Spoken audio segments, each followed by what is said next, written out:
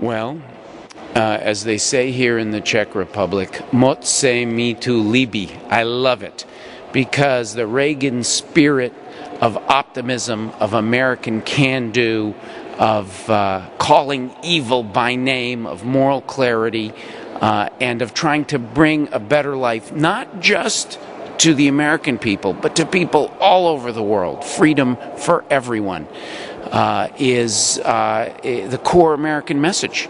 So, as an American ambassador, I'm honored and I'm privileged uh, to celebrate uh, that legacy of President Reagan. And because GE is one of our great American companies, it's also important to remember that you can't have political freedom without free markets and economic freedom.